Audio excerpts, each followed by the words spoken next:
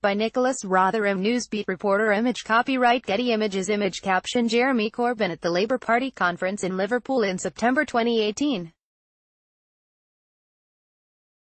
Labour leader Jeremy Corbyn won't critique the Prime Minister's dancing to ABBA, ill love dancing to others, he tells Radio 1 Newsbeat.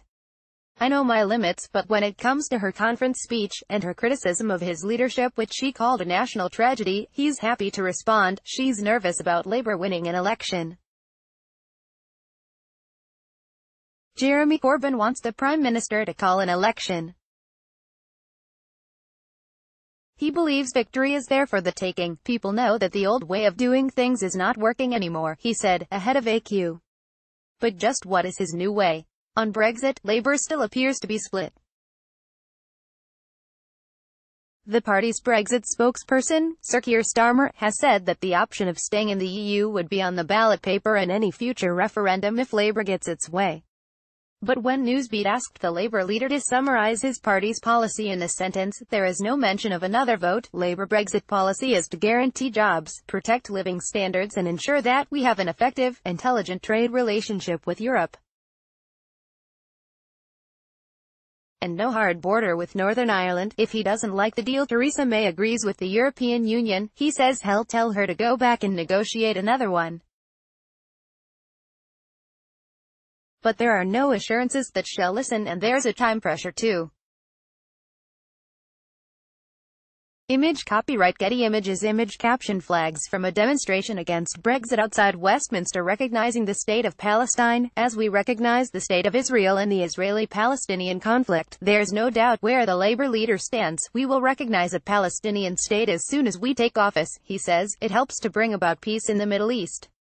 It hopes to bring about justice for the Palestinian people that gives them equal rights, but what about the accusations him and his party use support for Palestine as a cloak for a hatred of Jewish people, they should not and I hope would never do. That because it is about recognizing the state of Palestine and the rights of the people of Palestine, as we recognize the state of Israel, he tells Newsbeat, it is not, and never should be, a cloak for racism or anti-Semitism in any form. Image copyright Getty Images Image caption A mug on sale at the Conservative Party conference in Manchester, September 2018 A vegetarian since he was a pig farmer in his 20s, Mr. Corbyn talks a lot about a green revolution.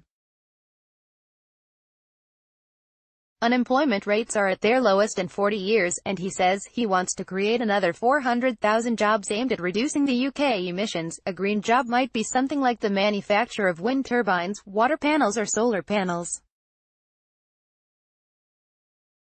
It will be about renewable things like gas created from vegetation. Whilst there are high levels of employment, there are also very high levels of underemployment, people working on zero-hour contracts. That type of casual work is something Mr. Corbyn has long been keen to get rid of. Scrapping tuition fees the right thing to do. Hay also repeated his desire to scrap tuition fees, despite the government warning that would push up taxes and limit university places.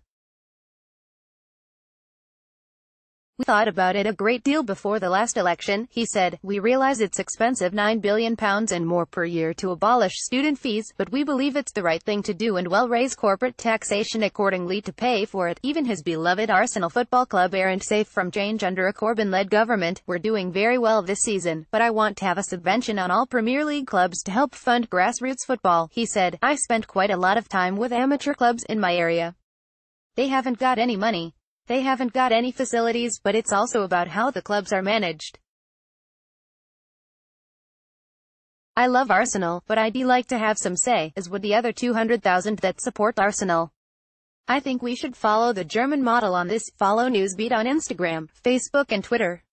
Listen to Newsbeat live at 12:45 and 17:45 every weekday on BBC Radio 1 and 1 Extra. If you miss us, you can listen back here.